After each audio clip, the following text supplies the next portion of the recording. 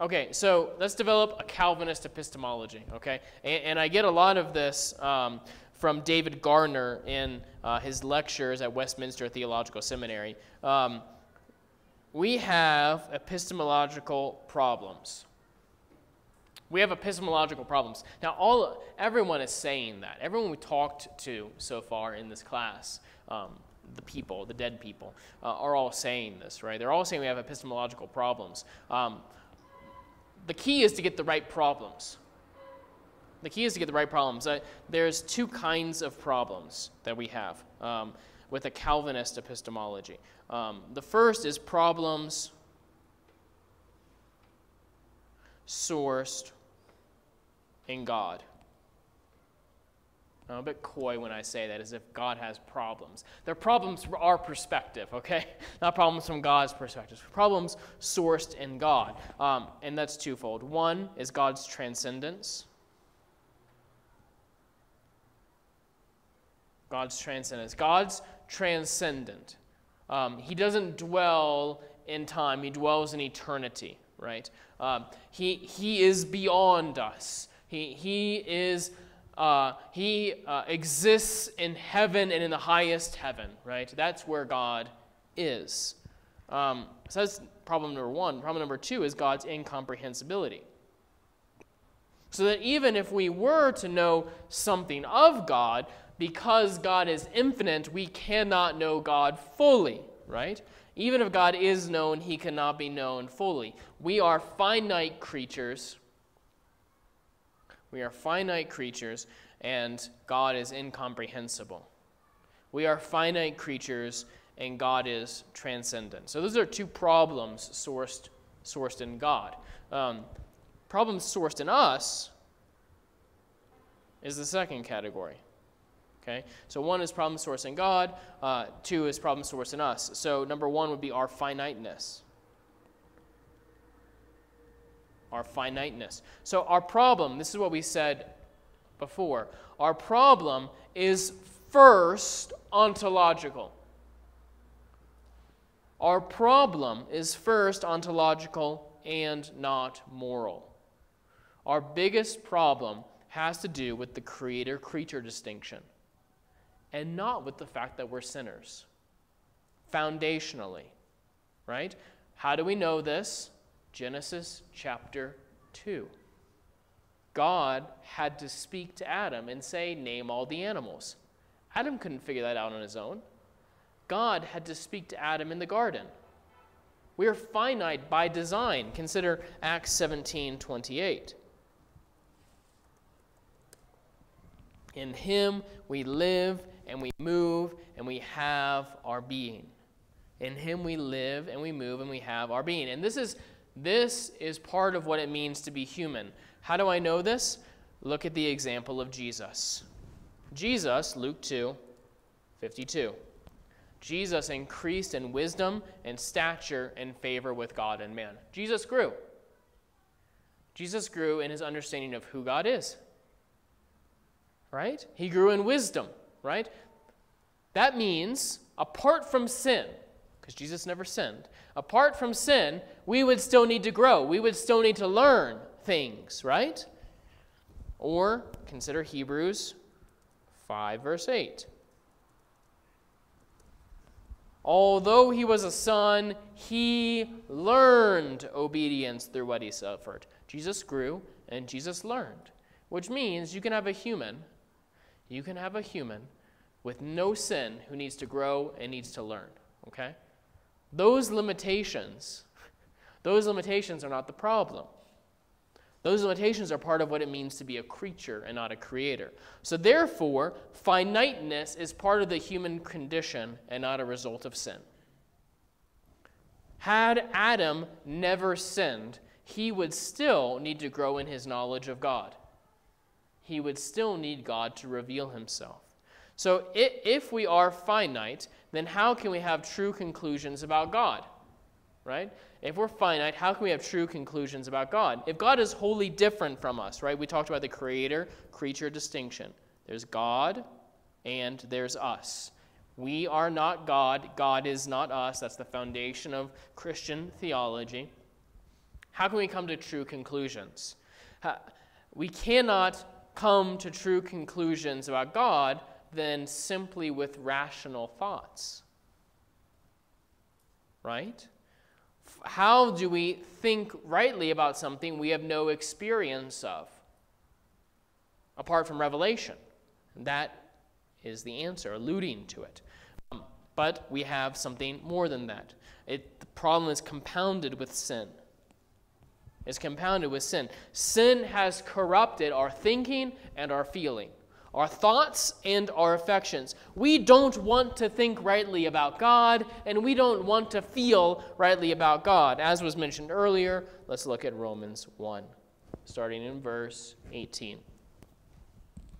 The wrath of God is revealed from heaven against all ungodliness and unrighteousness of men, who by their unrighteousness suppress the truth. You don't know this yet, but this is a this is a active participle.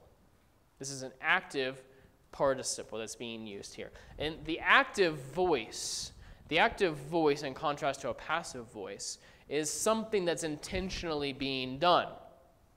Okay, picture this. If you go to a pool and you have a soccer ball, football with you, right? If you want it to stay under the water, you have to keep pushing it under the water. It wants to come up, but you're pushing it down. That's what's happening here. People are actively suppressing the truth. They're taking the football and they're pushing it under the water, even though it's trying to come up. Truth about God, knowledge about God is trying to come up, but people are suppressing it. Because, verse 19, what can be known about God is plain to them.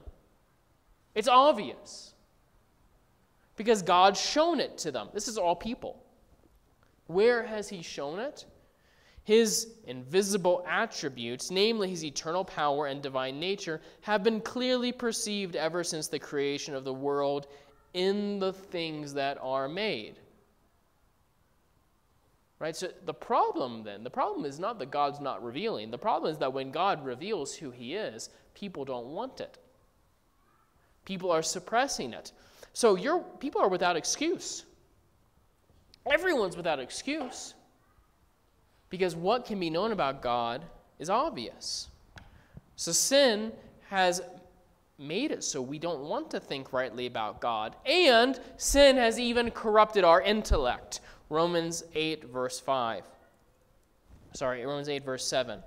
The mind that is set on the flesh is hostile to God. It does not submit to God's law. Indeed, it cannot. So, not only, the, the picture gets even more bleak. Not only are people intentionally suppressing the truth, this text would say they're unable to not intentionally suppress the truth. They will always do that because they are only able to do that. Theologians call this the noetic effects of sin, the effects of sin on our mind, our intellect, our thinking. We hate God. That's the point. So that's first is our, our problem sourced in us, our finiteness and our sin. Therefore, okay? Therefore, our theology must be sourced in God. Right? Theology must be sourced in God not in us. Theology is not sociology. Theology is not a study of religion. Theology is not a reflection on human feelings. Theology is not a reflection on how different communities have expressed feelings of ultimate dependence. Theology is not asking, what does this group of people and this group of people and this group of people think about God? It can't be. Bavinck says this In the Apostles' Creed, for example, we cannot exchange I experience for I believe.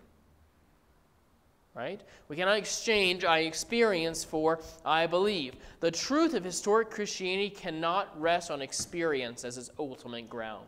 It must rest in something we can put our confidence in. Theology is not grounded or sourced in us, then, it's grounded and sourced in God. Okay?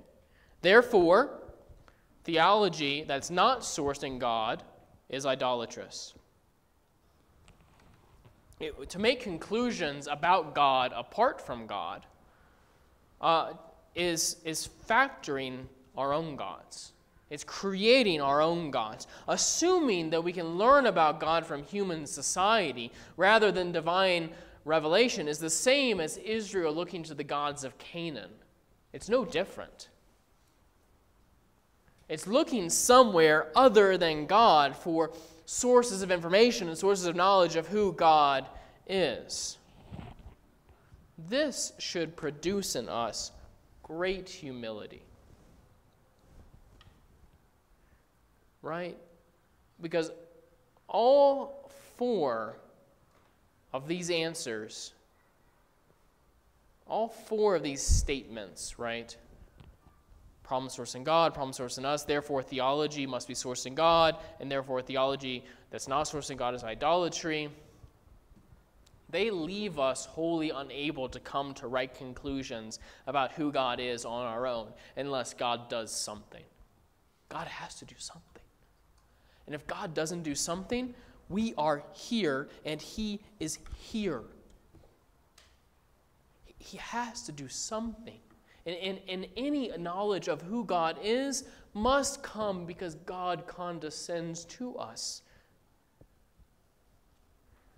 And as we read the Bible, do you know what else should motivate humility? Do you know why God does choose to reveal?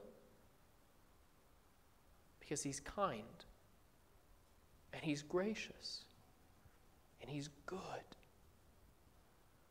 He, he did not find it content within himself to stay locked up in heaven somewhere. He wanted to reveal to us, and when he does, do you know what he does reveal? The greatest possible thing. He reveals himself. So, so with that then, with that then, God must be self interpreter. God must be self interpreter, okay? If God is the standard by which all things are measured and which all evidence is weighed. That puts God in the position of evaluator and us in the position of listener. That puts God in the position of, to use Genesis 1 language, the namer, right? He names Adam. He, he has the right to call things what they are. He, he calls the Sabbath day holy, and it's holy. He, he commissions the man, and the man is sent out with the woman alongside him. Uh, I remember one time I had a friend who we were, he had objections to the idea that God was sovereign. He had idea, objections to the idea that God was sovereign. And so, do you know what I did? I went to Romans 9 with him. And we were reading through Romans 9. And do you know what he said at the end of it? He had no objection to my exegesis. He had no objection to, to the way I was interpreting the text. He said, God isn't like that. The God I worship isn't like that. If God is like that, he's not worthy of my worship. He's not objecting to me, he's objecting to the text. God is self interpreter. God tells us who He is. We have no right to think that God is someone other than who He's revealed Himself to be. Anything else is worshiping a false God, one of our own creation. God is who He says He is, and we must believe that. What if God is different than you thought? What, what if God reveals himself to be different than who you thought that he was? Our only response in that moment must be, I was wrong. God is who his word says that he is. So, our, our position our position is that we are unable to verify and we are unable to argue. We must only accept through faith. Consider Job 40 1 through 5. The Lord said to Job, Shall a fault finder contend with the Almighty? He who argues with God, let him answer. Then Job answered the Lord and said, Behold, I am of small account. What shall I answer you? I lay hand on my mouth. I've spoken once, I will not answer. Twice, but will proceed no more. Abraham Kuyper helpfully says this in his entire theology, the theologian must stand in the presence of God as his God. As soon as, for a moment, he looks away from the living God to engage himself in an idea about God over which he will sit as judge, he's lost. The object of his knowledge has already vanished from his view. He will not understand God by looking away from him. You cannot expect to kneel in prayer before God as a worshiper in any way other in any way except as dependent upon him. So also as theologian, you can never receive true knowledge of God when you refuse to receive your knowledge from him in absolute dependence of him. Right? We we need God. Theology must be sourced in God. The alternative, we've already seen it. So then, those are the problems. Here are the answers, okay? Here are the answers that a Calvinist epistemology gives. So, answer one. Answer one is God, the all knowing.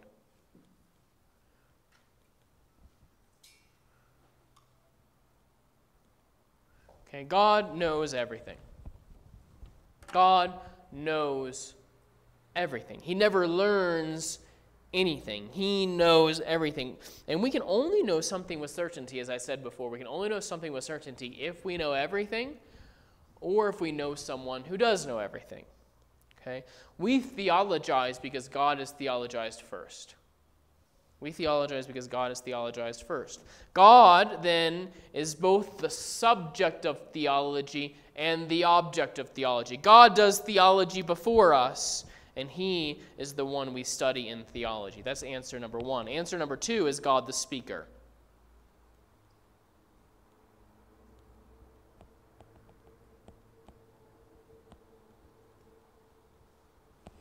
God the speaker.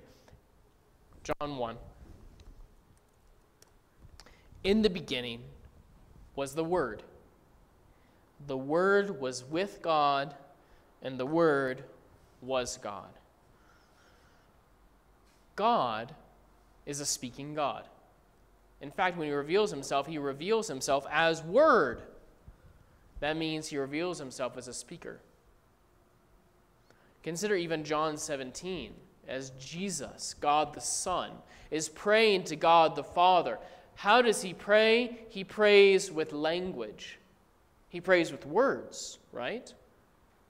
How do the members of the Trinity talk to one another? With words. The members of the Trinity, then, do not speak to one another with feelings or thoughts or even experiences of each other. No, if we look at John 17, Jesus looks to heaven and speaks words to the Father. Father, the hour has come. Glorify the Son, that the Son may glorify you. They in eternity past, the members of the Trinity were speaking to each other in language. They were speaking to each other in language. That means, here's what that means language is not something that humans created. Oh, that's radically important for all of our theology. Language is sourced in God. Here, here's what that doesn't mean that people were created with and grunts and groans and things like that, and slowly language evolved. And as God saw people speaking in language, he thought, oh, that looks like a good way to talk to them. No, no, no. The first words ever spoken in time were spoken by God Himself let there be light.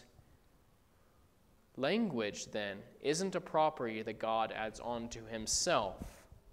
No, our ability to speak in language is a property of us being made in the image of God. That's radically important. Because that means that language is an adequate means of God revealing. and experience is not superior to language. Even, even consider the throne room scene in heaven in Isaiah 6. In the, king, in the year King Uzziah died, I saw the Lord sitting upon a throne, high and lifted up, and the train of his robe filled the temple. Above him stood the seraphim. Each had six wings. With two he covered his face, with two he covered his feet, with two he flew, and one called, spoke to another Holy, holy, holy is the Lord of hosts. The whole earth is filled with his glory. When we peek into heaven, the angels worship in language. What that means is when we get to heaven, we, we, don't, we don't move past language into just ex- sheer experience, as if sheer experience were somehow better than language. No, we will speak, and we will speak more clearly and more articulately, articulately than we ever have before. So then, God, knowledge of God, then, God the speaking God, knowledge of God is only possible as God reveals it, okay? It's only possible as God reveals it. Let's look at Matthew 11 27.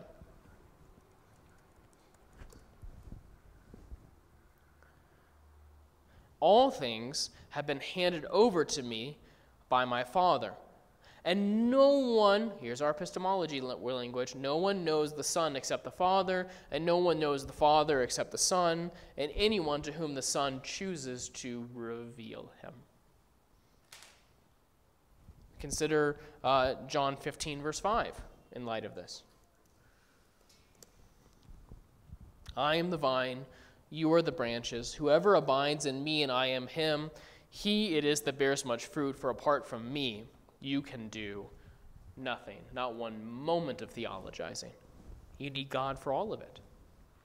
And the good news is that when God speaks, he never lies. Titus 1, verse 2. In hope of eternal life, which God, who never lies, promised before the ages began.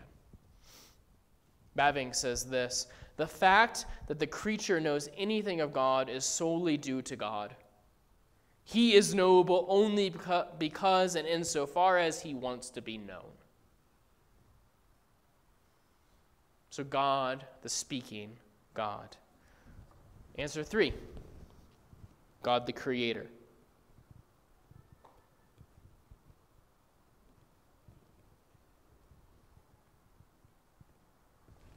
God, the creator. God's creation of the cosmos gives him the right to interpret the cosmos. He knows the proper place and the proper meaning of all things because he created them. So, th- this destroys the idea of subjective truth, the idea of my truth, even the idea of subjective beauty. What I find beautiful? No, no, no, no, no. God created the world. So, really, his interpretation of the world matters more than anyone else's. Right? What we feel matters nothing compared to what God thinks about his world. He's the definer of all things in it. And with this, how has God interpreted the cosmos? How has God interpreted it? Look at Colossians 1 16 through 17. For by Christ all things were created in heaven and on earth, visible and invisible, whether throne or dominions or rulers or authorities, all things were created through him and for him. He is before all things, and in him all things hold together what's God's interpretation of the universe? God has a Christ centered interpretation of the universe. All of the universe exists, it, it, exists through Him and for Him, and, and in Him all things hold together. In the, in the matrix of Christ, the fabrics of the universe hold, hold together. Do you know what that means? The chair you're sitting in, the stage I'm standing on, far more fundamental than the elements, that hold it together, the electrons and the neutrons, far more foundational to any of that is Jesus. So, so that if the Son of God were to cease to exist, all of reality would cease to exist. This gives us a Christ centered interpretation of all of reality, not just revelation in Scripture, but, but all of reality is must be read and interpreted through a Christ centered lens. What that means is we must think Christ centered thoughts and submit all of our thoughts to Jesus Christ. Answer four Christ, the covenant Lord.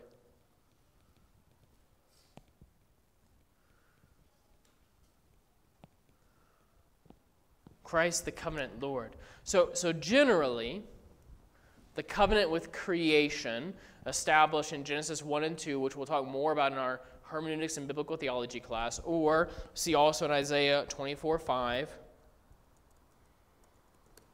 Okay, the earth lies defiled under its inhabitants, for they have transgressed the laws, violated the statutes, and broken the everlasting covenant right? This refers to some kind of covenant that all of the world has broken.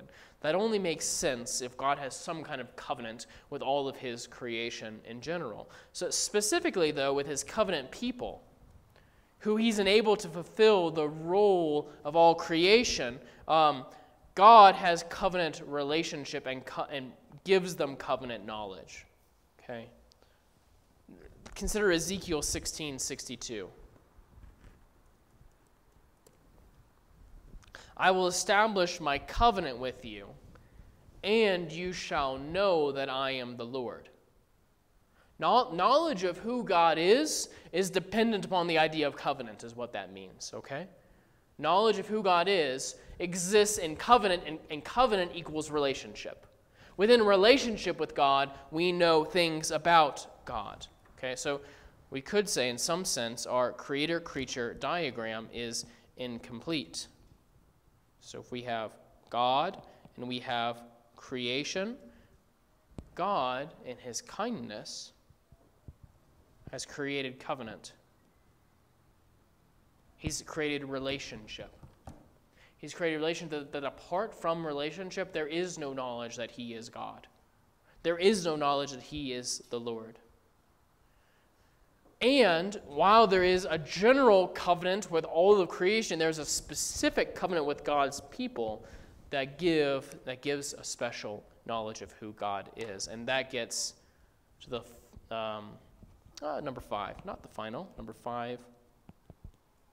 Christ, God incarnate. Okay. What has God done in Christ? He's, he's fulfilled what he said he would do in the old covenant. The, God's desire, Exodus, 12, Exodus 3, verse 12, God's desire is that he would dwell in the midst of his people. I will be with you. Exodus 3, verse 12. I will be with you. Deuteronomy 4, verse 7. What great nation is there that ha- has a God so near to it as the Lord? The, the hope of Israel was that God desired to dwell in her midst, which is ultimately fulfilled in Jesus Christ. Matthew 123 Behold the virgin shall conceive and bear a son and they shall name him Emmanuel which means God with us. God who has existed from eternity past has come in the person of Christ. And, and this person of Christ is the greatest of all of God's self-disclosures. Look at John 1:14. The Word became flesh and dwelt among us, and we have seen his glory. As the glory of the only Son from the Father, full of grace and truth. Or consider Colossians 1:15. He is the image of the invisible God. the one around whom the whole cosmos was revolves, has come to earth and he's spoken, contrasting philosophies of this world. Consider Colossians 2. For I want you to know how great a struggle I have, ha- I have had for you, and for those in Laodicea, and for all who have not seen me face to face, that their hearts may be encouraged, being knit together in love, to reach all the fullness of the full assurance of understanding in the knowledge of God. God's mystery, which is Christ, in whom are hidden all the treasures of wisdom and knowledge. Where is knowledge found? In Christ are hidden all the treasures of wisdom and knowledge. That's a massive epistemological claim. Massive. So Jesus Christ is the one who reveals, and he's the content of what is revealed. Bavinck again is helpful. He is the Logos in an utterly unique sense, revealer and revelation simultaneously.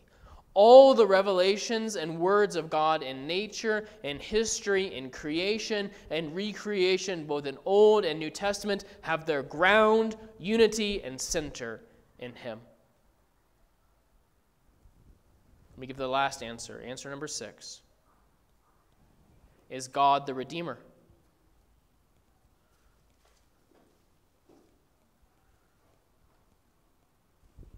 Okay, God, God in his acts of redemption always acts to make himself known.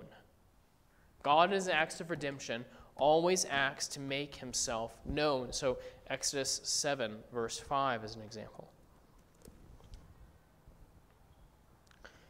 God will bring his people out of Egypt, and then the Egyptians shall know that I am the Lord. Compare that to Exodus 14, verse 4.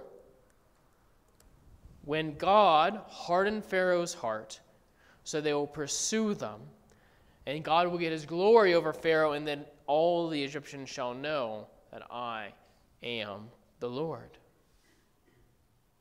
Or look at verse 18. And the Egyptians shall know that I am the Lord when I have gotten glory over Pharaoh. God acts redemptively for the purpose of making himself known. And God, God acts redemptively for the purpose of making his will known as well. Ephesians 1 7 through 10.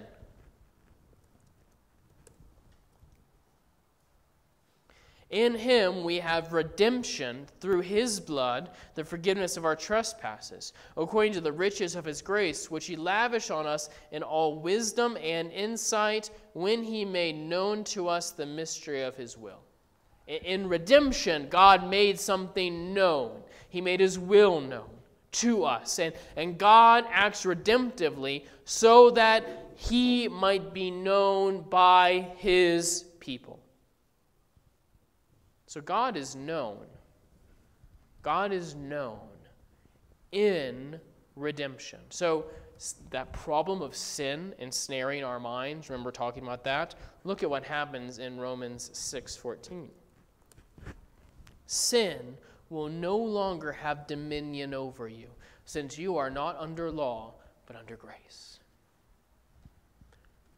So, within this idea, of the creator creature distinction, one more line to draw. Revelation. God has revealed himself.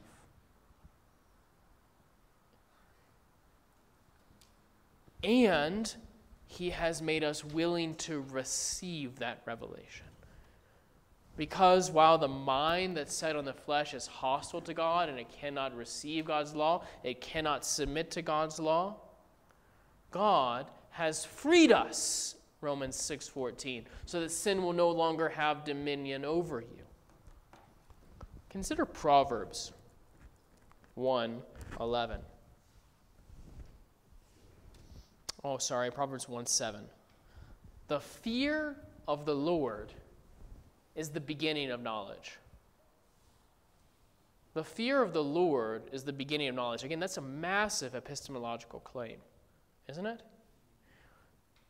Within our, within our ideas of how to know, where to find knowledge, this, this verse, Proverbs starts out with saying, fearing God, being in relationship with God. Ultimately, then, being in relationship with God through Christ is where this is finally experienced and known is the beginning of knowing anything. So, so that um, this fear of God, to put it in Augustinian terms, I believe that I might understand. The beginning of knowledge is fear of God, is faith in Christ. Now, when you say beginning, beginning can mean a number of things, right? Um, think about this analogy. You can, you can think of the beginning like the starting point of a race. You have the beginning line, right?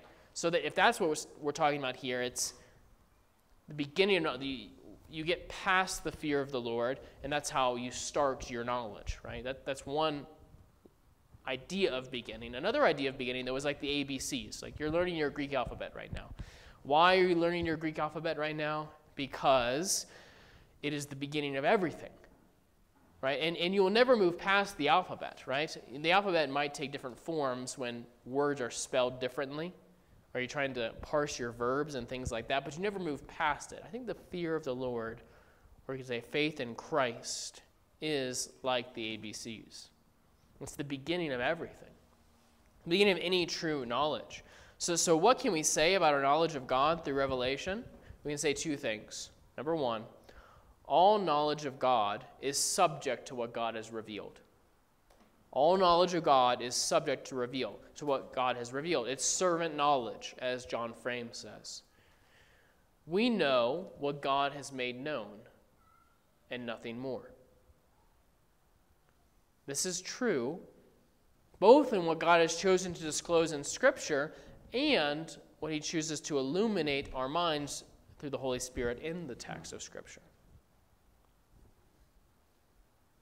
So then, all knowledge of God, all knowledge of God is in response to what God has chosen to reveal to us. So, therefore, in all of our knowledge of God, in all of our knowledge of God, we are utterly dependent upon God Himself. Okay, that is why God is the object of revelation. And that is why we have a Christ centered, gospel centered hermeneutic, Christ centered, gospel centered theology. God has chosen to reveal, and He has revealed the greatest thing possible Himself. God has chosen to reveal, and He's revealed the greatest thing possible Himself. And why? Why does God reveal? My goodness. He reveals to make friends with us.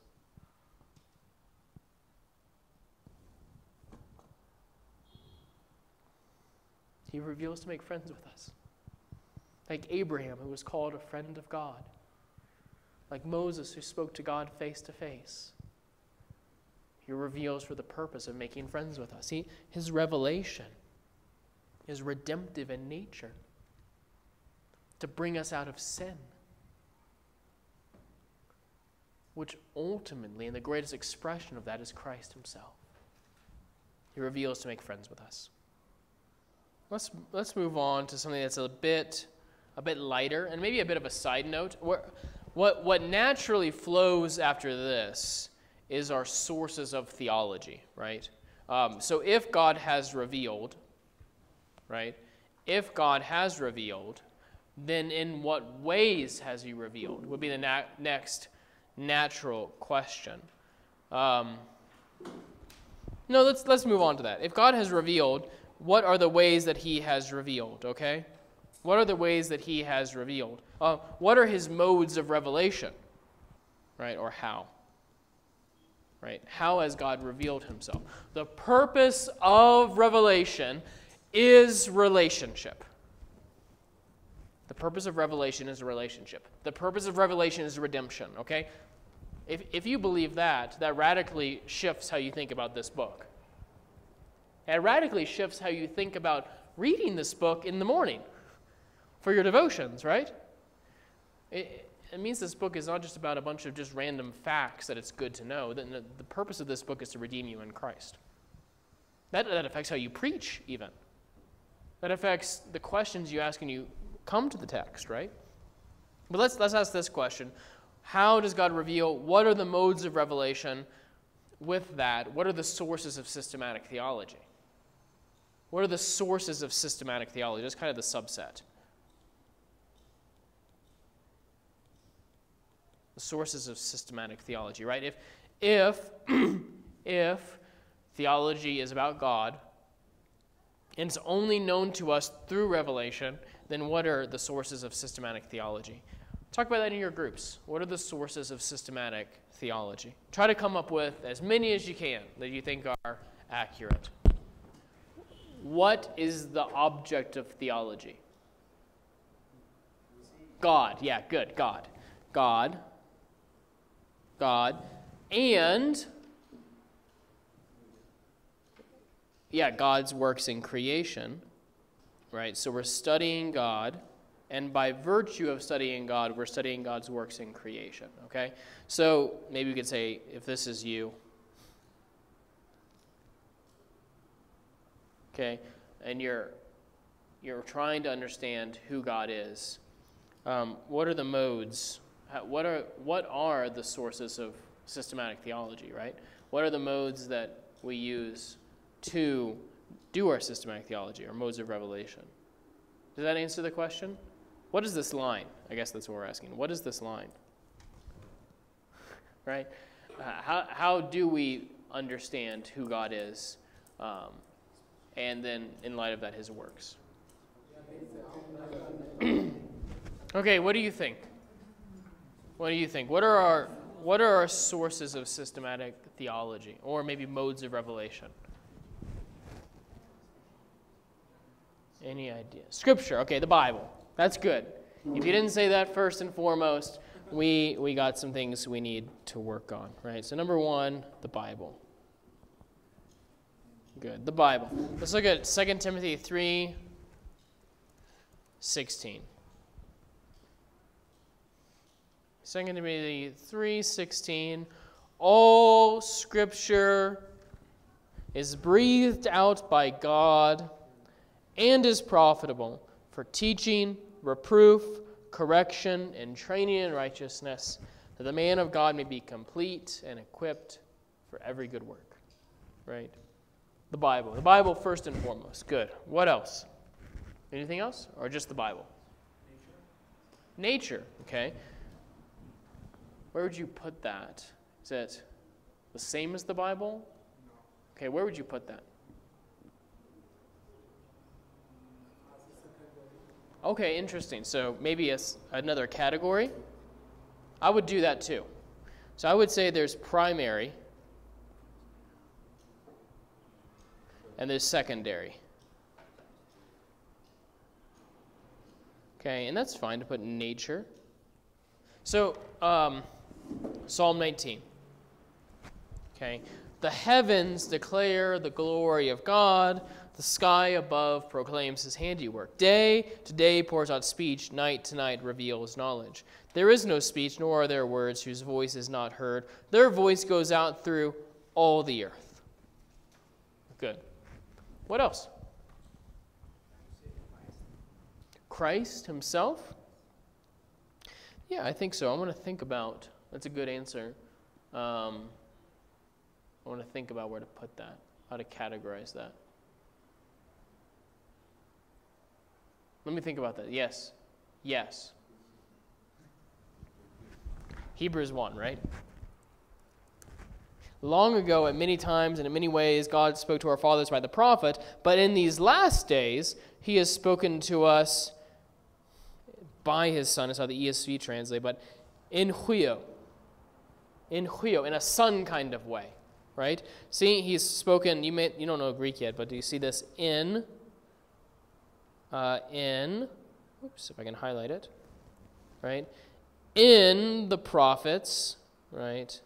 In a prophet kind of way, but here in in a son kind of way. He's, he's revealed in a new way in these last days, in a, in a son kind of way. It's a, it's a quality of revelation, right? It's more explicitly Christ. Um, very good, yeah. I want to think more about where to put that in my diagram, though. Yeah, he's the radiance of the glory of God, the exact imprints of his nature, and he upholds the universe by his power. Very good. You're exactly right. Good. What else? Any other modes of us doing systematic theology? Any other sources of systematic theology you can think of? Church tradition. Okay. Where'd you put it? Secondary or primary? Secondary? You're worried. You're worried about me, aren't you? I can see it in your eyes. You're like, where is he going with this? I'd probably put it like right here. Okay. Um, yeah, like 1.5, exactly, yeah. Yeah, don't let anyone ever put you into a box, okay? Don't let anyone ever put you into a box. I'd probably put it right there. Um, the church. Right? What, what does Jesus say when the Holy Spirit comes? Uh, John 16, 13. When the Spirit of truth comes, he will guide you into all the truth. He will do it. We already looked at Ephesians 4, right? He's given the teachers, the prophets, the apostles, the evangelists for the building up the body of Christ until we reach unity of the faith, right? so there is a sense in which we can say the church. Very good. Anything else? Experience. Experience. Yeah. Experience is an interesting one, right? Experience is an interesting one because it doesn't really go in the category of revelation, does it? God doesn't reveal to us through our experiences, or does He? Does God reveal to us in our experiences? Why don't we leave experiences off here and we'll come back to it?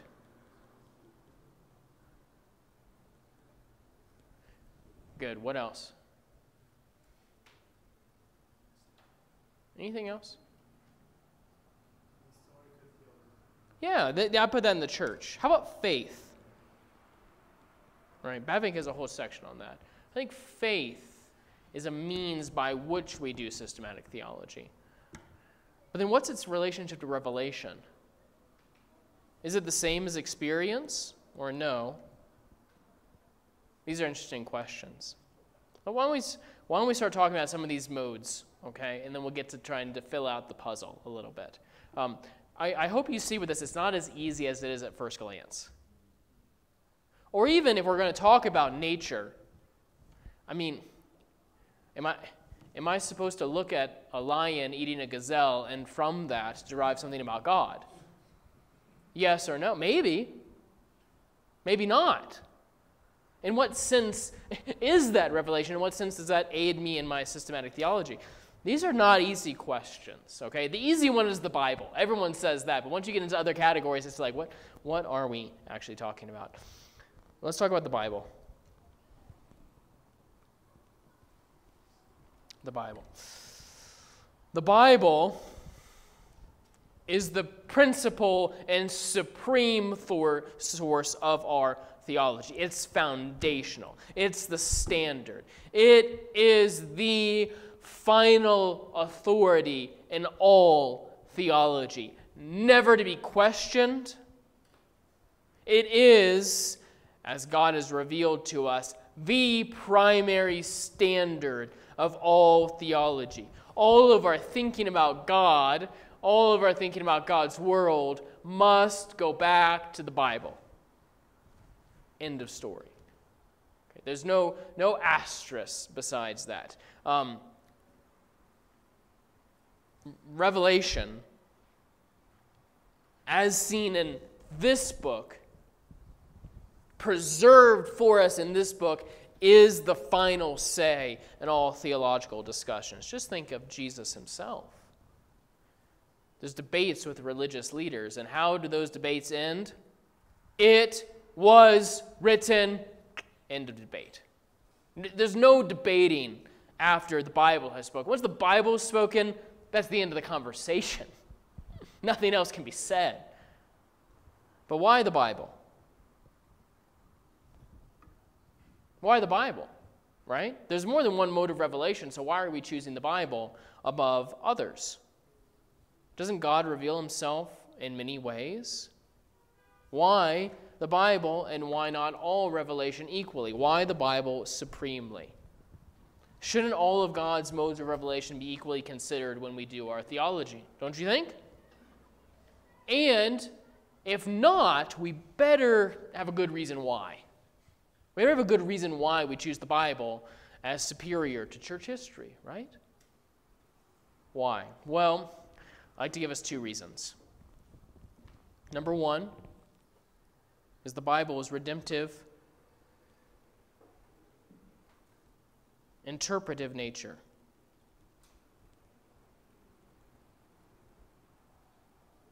Okay? The Bible is redemptive, interpretive nature, okay? Short note on general revelation over special revelation, which we'll get to defining later. All of God's acts in creation are revelatory acts, right? But within those acts, some revelatory acts are especially intended to save God's people.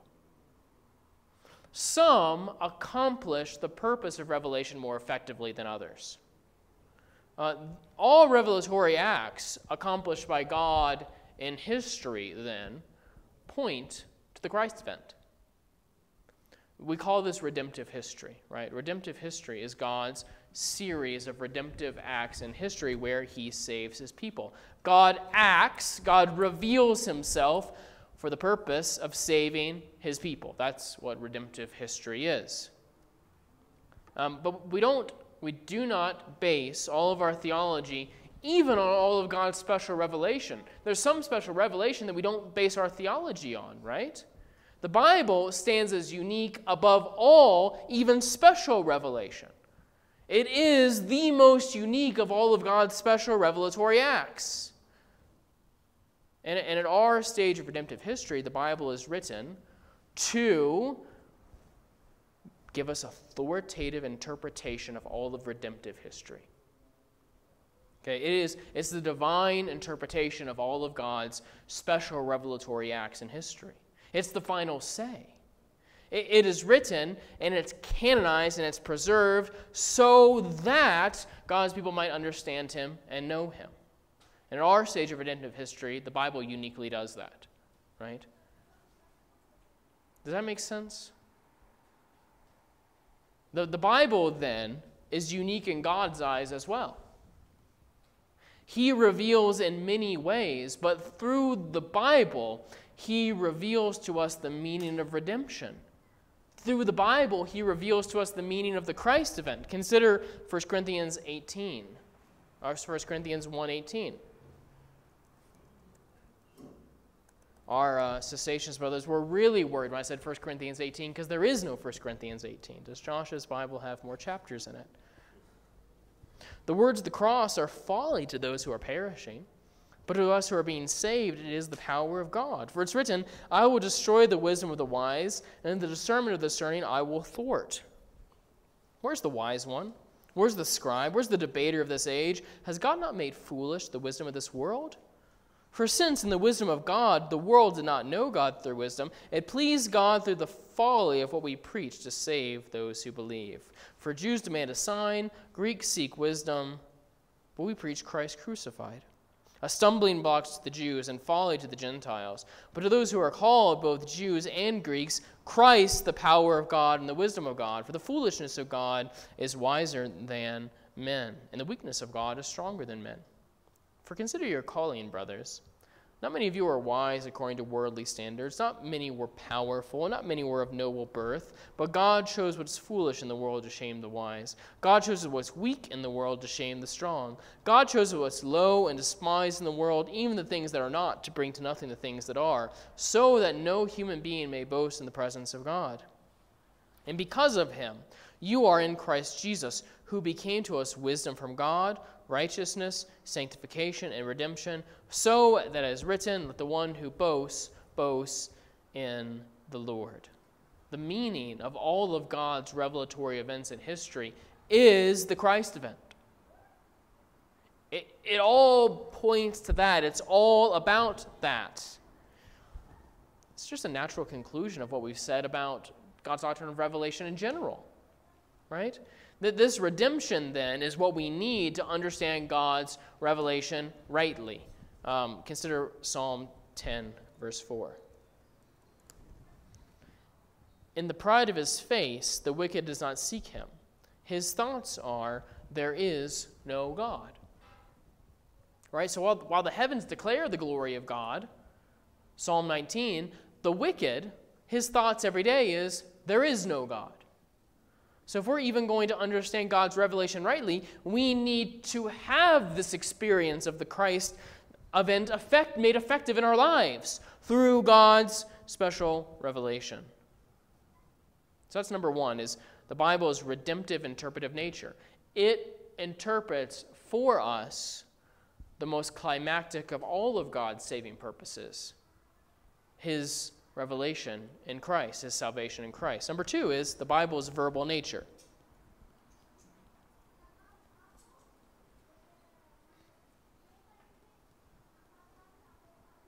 Okay? The Bible is verbal.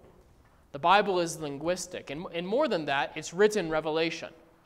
Right? There are other verbal revelations of God that we have not been given access to, right? There are other verbal revelations of God that we have not been given access to. Just think, we don't even have all the words of Christ, right? There are things that God said that He chose to not put in this book. Which means the fact that He wrote them down means they're special. and we'll get to this when we get to our doctrine of the Bible. it means that He intends for these words of special revelation to be authoritative and preserved for all people of all time in a unique way, above and beyond even his other special revelatory moments. It can't be misheard, it can't be forgotten. It's the clearest act of God's special revelation. So that's number two. Number three is the Bible's universally preserved nature. Okay? The Bible uniquely stands among all of God's preserved verbal special revelatory acts. Um, if God preserves His word for us, which He does, then we we must discriminate among verbal revelations from God. To observe which ones He has preserved, right? Look at Matthew 5 18.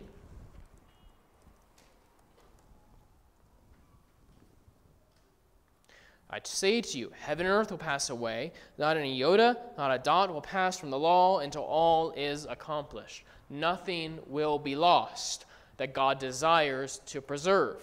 Here's, here's what that means. Let's say for a moment that Jesus is preaching in the Sermon on the Mount, and there's a shepherd boy there who's taking good sermon notes. Maybe we find that one day, and there's something in those sermon notes that we don't have in Matthew or Luke. Should that be added to the pages of Scripture? Absolutely not. Because God has not preserved that for His church universal, for the purpose of growing His church. Uh, there's a discrimination that God makes in His special revelation so that He preserves uniquely this book in a way that He has not preserved other verbal special revelation, okay? So we're, we're not making a distinction. God's made a distinction. God Himself has made a distinction.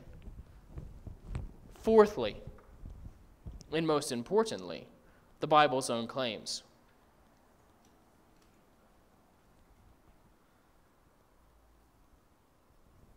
Right. Let's go back to 2 Timothy 3:16.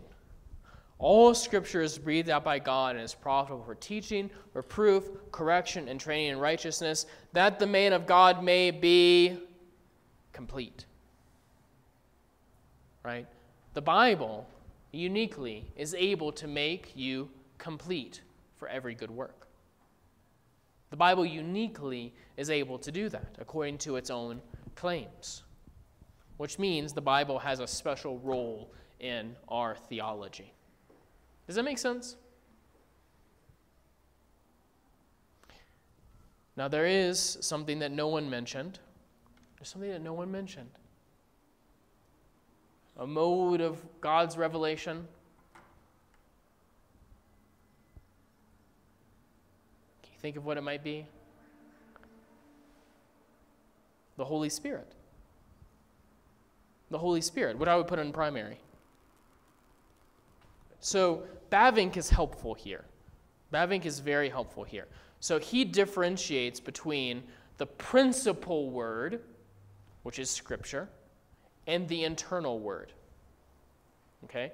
Scripture itself is self authenticating as the Word of God, right? Right there. It's the Word of God. Can't argue with it.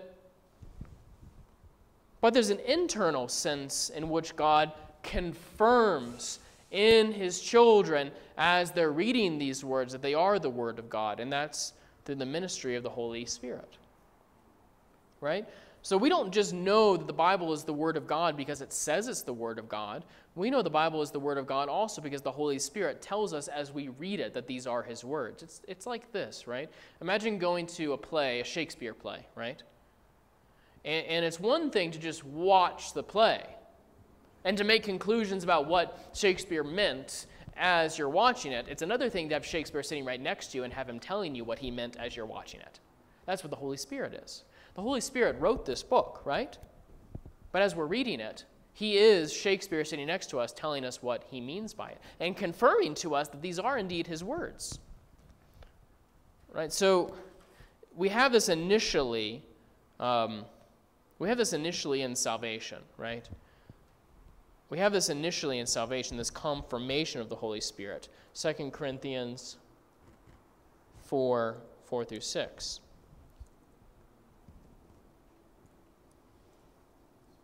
Which says this In the case of the God of this world has blinded the minds of unbelievers to keep them from seeing the light of the gospel and the glory of Christ, who is the image of God.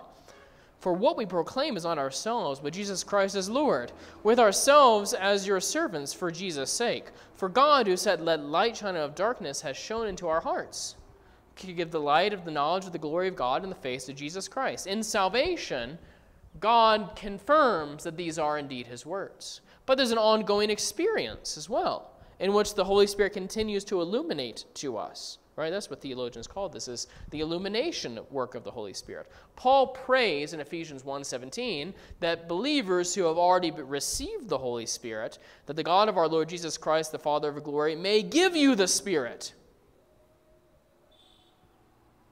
of wisdom and revelation, the knowledge of him having the eyes of your hearts enlightened, so that you may know what is the hope to which he has called you, what are the riches of his glorious inheritance in the saints, and what is the immeasurable greatness of his, greatness of his power towards us who believe.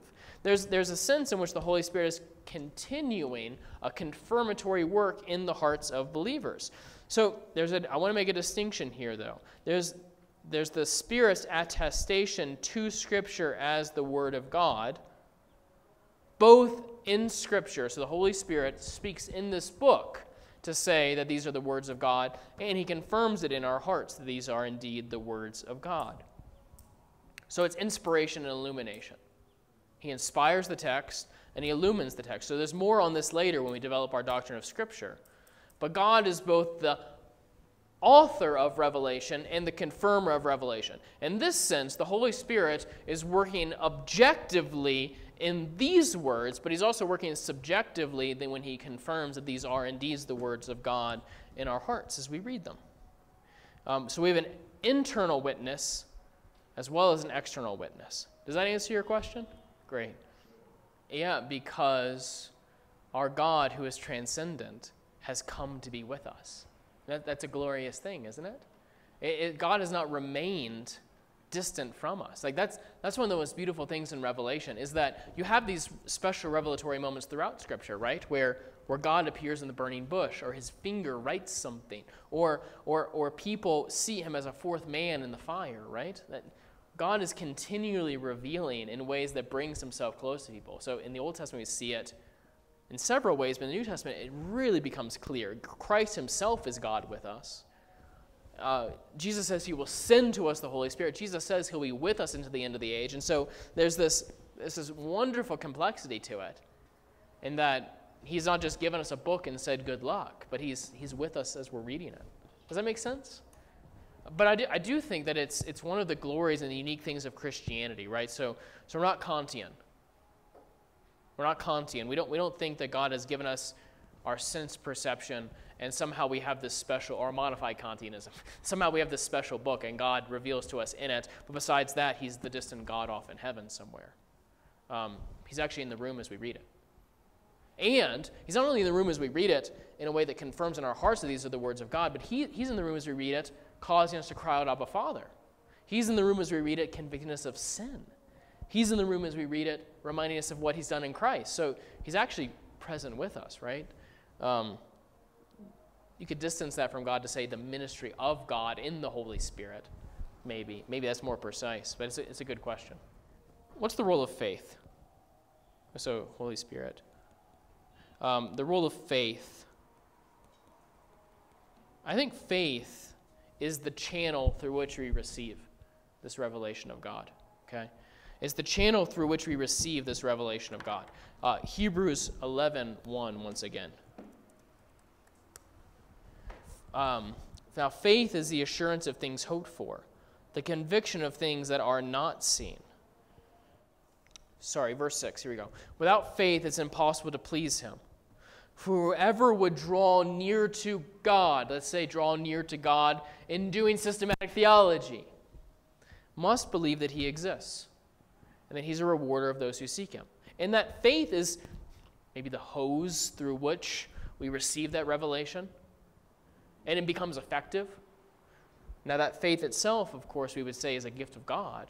It's not as if we create this faith so that God can speak to us. No, rather, faith as a gift from God is the means by which God makes that revelation effective. Consider Romans 8 24. For in this hope we are saved. Now, hope that is seen is not hope. For who hopes in what he sees? But if we hope for what we do not see, we wait for it with patience, right?